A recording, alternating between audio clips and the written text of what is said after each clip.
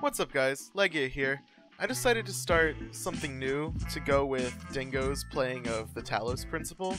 I'm going to be playing Battle Block Theater, and you can just take some time to appreciate this amazing theme music. It's honestly incredible. I just I just love it so much. Anyways, let's get going. Alright. Gonna go with blue because because, you know, fits in with the whole Lagia name if you know what I'm talking about. Well, good for you. Anyways, I'm gonna be quiet for a moment so that you all can appreciate this exposition. Good evening, boys and girls, ladies, hmm, and gentlemen. Turn the lights down low and shut your faces as I wrap you in the cozy blanket of a story. A story as heartwarming and soft as a mother's kiss. Or is it? Shh. Once upon a time, there was a boat. Now, this wasn't just any boat, children. It was a ship. A ship full of friends. Hundreds of friends. Best friends, one and all. A veritable friendship it was. Get it? But it wouldn't be very ladylike of me if I didn't mention the most noteworthy friend on board. Hatty Hattington. Say hi to Hatty. Hatty was like king friend of Friendship Kingdom. Best friend to one and all, and the walking definition of handsome gentleman. Now, one fine morning, Hatty and pals set out for a new, exciting adventure. What fantastic wonders would they discover this time? Perhaps they'd come across a scary ghost ship. Perhaps they'd find an island made entirely of candy. Perhaps they'd meet a band of scary, swashbuckling pirates and join forces to find an island made entirely of candy. Who knew? But it didn't matter. So long as they were together, there were smiles to be had and adventures to be shared. Now today, 'twas a day like any other adventure day. Spirits were uncrushably high, everyone was singing and dancing and having a jolly time. When suddenly the ocean was all like surprise, and a huge, massive storm brewed out of nowhere. Boy, that was quick. And there was thunder, boom, and the lightning, boom, and the wind, boom. And like that, it was over. Is everyone okay? said Hatty. I don't know what I'd do if I lost even one of you, Hatty continued. But the eye of the storm is very misleading, children. Never turn your back on it because the ocean was all like psych, and it came back even bigger this time, twice as big. As if Poseidon himself extended his hand in friendship and they spat in his mouth. Boy, he was pissed. He was mad. Then the rain came down like a shower of bullets. Ah, ah. And the floorboards were buckling and creaking and breaking, and pieces of their ship were raining down like shards of broken dreams. And then Reginald comes upstairs and he's all like, I say, gentlemen, I do believe we're in quite a spot of bother. And everyone else was like, Really? What tipped you off, genius? And then Hatty was all like, Hey, be nice.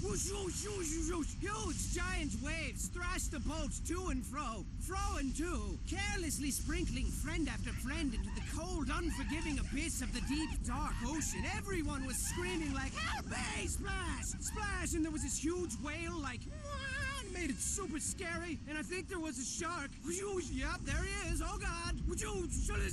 And then Hatty was all like, Hold on to your butts. Land ho! And bang, bang, bang! Smash! A shipwreck, as foretold by their fate books of fate. And while it seems like the end, this is merely the beginning of another fantastic journey for the brave crew of the SS Friendship.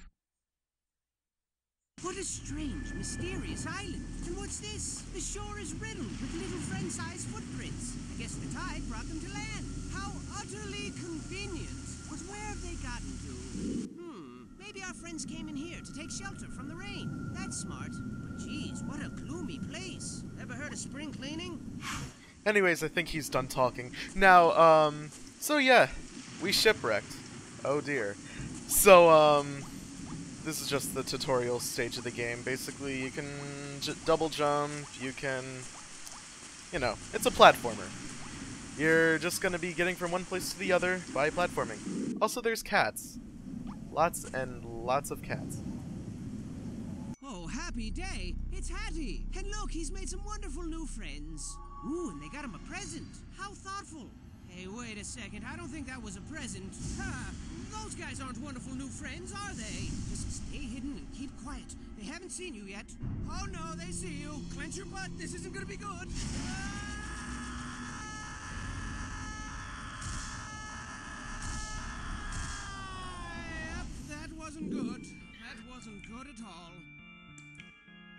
Here we are.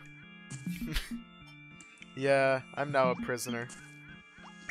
So, uh, what's interesting is that even though, like, the story began from the beginning, I still have all my stuff. But, anyways, that's not important.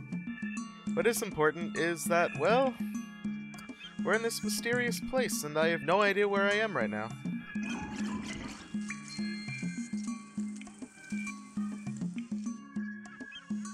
But anyways, you'll notice that, um, for these levels, and by the way, I'm gonna try to get all the gems and such. I don't know if I will be able to, because I've only played up until about World 3 before resetting, but anyways, let's get into the level. Time to find some gems. Time to find some gems. Them. Yeah, so anyways, the, um, levels are pretty self-explanatory. Everybody in the You've, um, you have to find gems. Like, three gems unlocks the end of the level. And, um, yeah. And every now and again, the uh, is gonna insert a little quip, like right here. Master of the floating air yarn. Yeah, you uh, press the, um, think it's the X button on the 360 controller, I believe, to, uh, to, um, attack. Anyways, I'm just looking for the last few gems. If there are any in the first level, there might actually just be three. Yeah, the cats can get pretty annoying at times, especially in the later levels. But anyways, I think there's only three gems in this level. I don't know. I guess so. I don't know. That was pretty short, pretty easy. Your standard first level affair. Yeah, only three gems. Here's your cereal Yeah, and in addition to finding all the gems, you have to find a ball of yarn, and you have to complete the level in a fast time. So, this game can get pretty hectic at times. But anyways, these uh, clouds you can walk through, but you can walk through and stand on. Okay.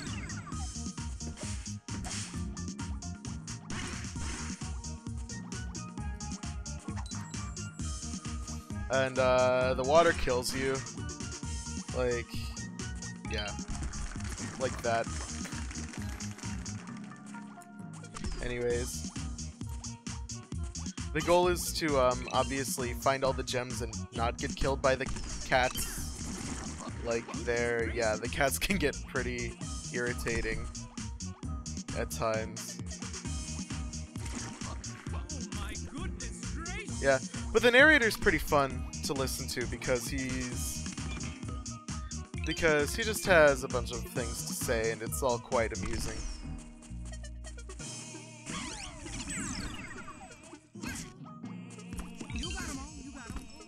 Anyways, I believe that's it for this level. Way to find out when the uh,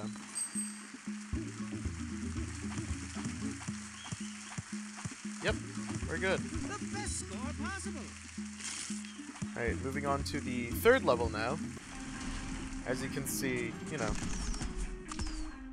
maybe a bit more tricky, but not that much more tricky.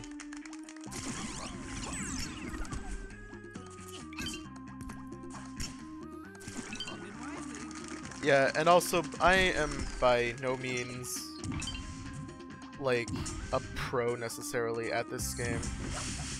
It's just, it's just something that I want to do for fun, and I think it's enjoyable. Anyways, yeah, those, um, I guess they're lava blocks or something. They, uh, instead of killing you, like how you would expect, they launch you instead, so that's a thing. Okay, I don't know what happened there. Um, but yeah. Just going through the levels, collecting yarn, not too terribly interesting. Oh yeah, also there's, um, oh, I thought there would be something hidden there, but I guess not. Okay. Game making a fool out of me, I see.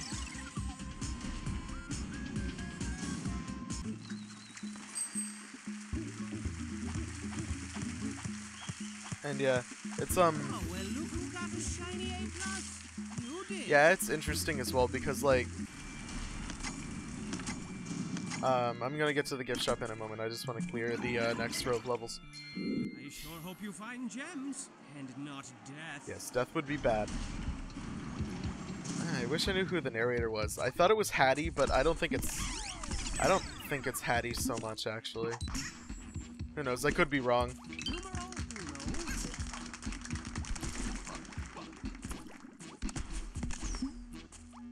Yeah. Also the attacks also the attack system is interesting because it's kind of like uh kind of works like Super Smash Brothers where um entering a direction on the uh on like the control stick or the D-pad depending on what you're using. Um Oh yeah. Also there's hidden blocks. But yeah, inputting a direction and attacking has you do different attacks. For instance, up and X does that, down and X does that, etc. Yeah, Oh my goodness gracious! yeah. Again, I'm I'm not so terribly excellent at this game. I mean, obviously, I'm like dying at in World One. Like there, I could have done better. But you know. But you know, just uh, getting used to this game again while um while I play for it while I play it for a bunch of people on the internet. Yep.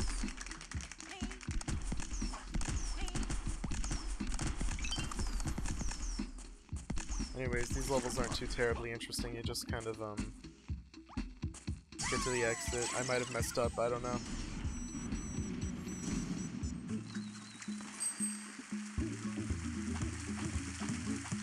Yeah, I uh, right didn't get the gem, so I get to cut this part out. Yay! Anyways, you know, here we are at um, was it Act Two, Scene One, I guess. Anyways, yeah, I'm just going through collecting all the gems and such. While I'm avoiding cats. Hopefully they're little hairballs or yarn balls, I'm not sure actually. Don't um interfere. Yeah, there are invisible blocks as well, which will um which will get a little problematic um later in the game, but for now they're not it's not too bad. Anyways, I'm just going through collecting all the gems. Like for instance right here there's a gem.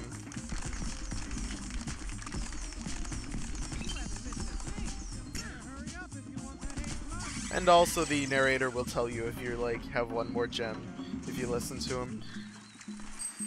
It's pretty good for keeping track of what you need to do.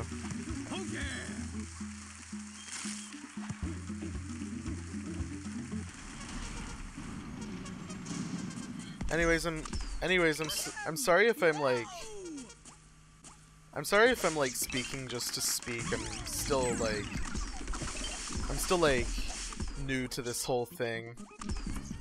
So just bear with me.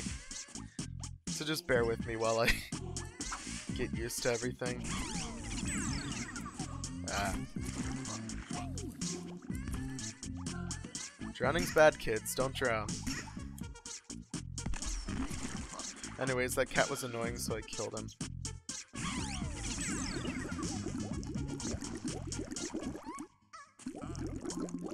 Anyways, yeah, you can call the boats over by pressing RT.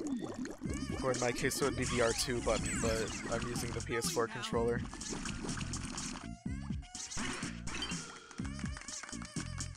Anyways, yeah, you're just uh, going through the levels, collecting yarn and gems.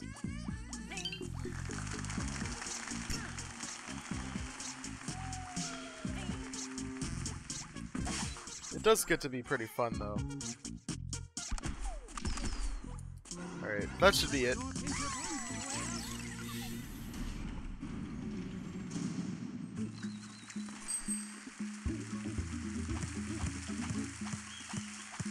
I know a special prisoner who's getting seconds on Yeah.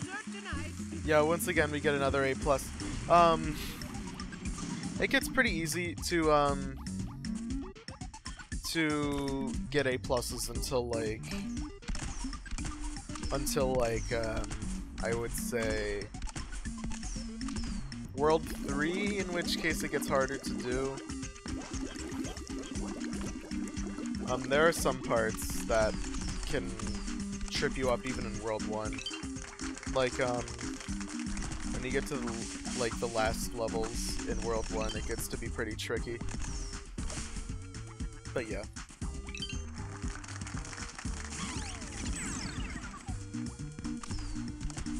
Yeah, you're also, um, Oh yeah, and here's something new.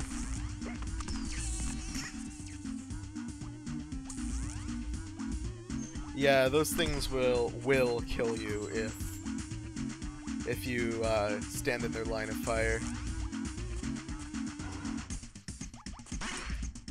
Anyways, just going through collecting gems, like I said.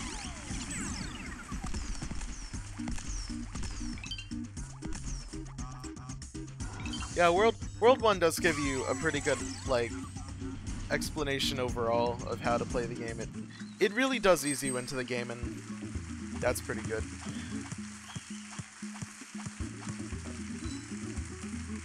Alright. So that now that that's done, I I guess I'm gonna show you the gift shop. Um, yeah, the gift shop. This is where you um, this is where you go and spend all those gems that you've collected. And also, if you go here, you can hand them a bunch of yarn, and they'll give you a weapon. Um, yeah, if you, uh, if you press the Y button, you give 10 gems, and then you unlock a, uh, guy.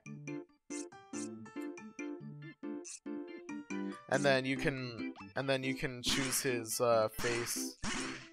Then you can choose his face if you're customizing your character like this, like, I believe it was this guy, or was it... Or was it... No, it was him. Yeah. Anyways. Anyways, um, I think that's... I think that's it for today, so, um, thanks for watching. If you like this, um, give a thumbs up, and if you want to see more stuff from the channel, you can subscribe, and, um, Oh, spoilers. Um, this is the uh, end door, by the way. Anyways, uh, thank you for watching, and I'll see you later.